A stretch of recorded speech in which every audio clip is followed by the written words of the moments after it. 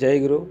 आज का आलोचना का टॉपिक है, कैसे एक गुरु भाई ने बाबा इधर ने जो बोले थे कि एक साथ पाँच लोगों को दीक्षा दिलाइए तो आप लोग का निश्चिंत सफलता मिलेगा।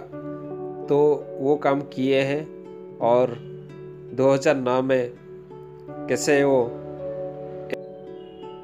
इलाहाबाद बोर्ड में एग्ज़ाम दे के टॉपर भी हुए, उसके बारे में हम आलोचना करेंगे ये जो टॉपिक ओडिया में कवर किया हुआ है चलिए सुनते हैं से गुरु भाई जनक ସ୍ୱସ୍ଥ ନେଇ ସାରିଥିଲେ ଦୁଇହଜାର ନଅ ମସିହାରେ ସେ ତାଙ୍କ ବାପାଙ୍କ ସହ ବଲାଙ୍ଗୀରରେ ରହୁଥାନ୍ତି ପଢ଼ାପଢ଼ି ଓ ଡ୍ୟୁଟି ସହିତ ଇଷ୍ଟକର୍ମ ବି ଚାଲିଥାଏ ସେ ସେକ୍ସନ୍ ଇଞ୍ଜିନିୟର ପରୀକ୍ଷା ପାଇଁ ମାଲଦା ଟାଉନ୍ ଯାଇଥାନ୍ତି ପରୀକ୍ଷା ଭଲ ହେଲା କିନ୍ତୁ ଠିକ୍ ଭାବେ ରୋଲ୍ ନମ୍ବର ନ ଲେଖିଥିବାରୁ ମନରେ ବିଷାଦ ଭରି ରହିଥିଲା ବାପା ତାଙ୍କୁ ବାରମ୍ବାର କହୁଥିଲେ ପନ୍ଦର ଦିନ ପରେ ଆହ୍ଲାବାଦ ପରୀକ୍ଷା ଅଛି ମନ ଦେଇ ପଢ଼ାପଢ଼ି କର।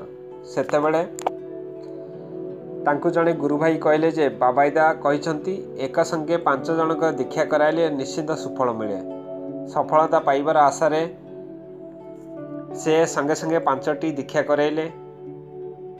ଆଉ ଯେତେବେଳେ ସେ ଆହ୍ଲାବାଦ ପରୀକ୍ଷା ଦେବାକୁ ଯାଆନ୍ତି ପ୍ରଶ୍ନପତ୍ର ଦେଖି ଅତ୍ୟନ୍ତ ପ୍ରୀତ ହୁଅନ୍ତି। ଯେଉଁ ବହି ପଢ଼ିକି ଯାଇଥାନ୍ତି ସମସ୍ତ ପ୍ରଶ୍ନ ସେହି ବହିରୁ ଆସିଥାଏ।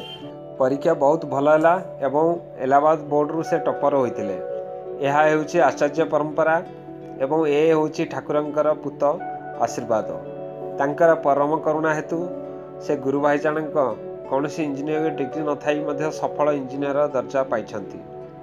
ଏଲାହାବାଦ ଆସିବା ପରେ ସେଠାରେ କୌଣସି ମନ୍ଦିର ନଥାଏ ସେ ଗୁରୁ ଭାଇଙ୍କ ସହାୟତାରେ ସତ୍ସଙ୍ଗ କେନ୍ଦ୍ର ପାଇଁ ସେମାନେ ଜାଗା କିଣି ସାରିଥିଲେ ଏବଂ କେନ୍ଦ୍ର ଏବଂ ମନ୍ଦିର ବନାଇବାର ଯୋଜନା ପ୍ରସ୍ତୁତ ହୋଇଛି ତାଙ୍କ ପୁତ କର୍ମ କରି ଜୀବନରେ ଅଗ୍ରସର ହେବାକୁ ପ୍ରତିଶ୍ରୁତିବଦ୍ଧ ଭାଗ୍ୟକୁ ଅସ୍ୱୀକାର କରାଯାଏ ନା କିନ୍ତୁ ଭାଗ୍ୟ ପରିବର୍ତ୍ତନ କରାଯାଏ ମୋର ଭାଗ୍ୟ ଯାହା ହେଉ ସେ ନିଜ କଲା କର୍ମ ଏବଂ ମୁଁ ଇଚ୍ଛା କଲେ ତାର रूप बदलाई पारिबी आलोचना प्रसंग आज के लिए आलोचना यहीं रखते हैं जय गुरु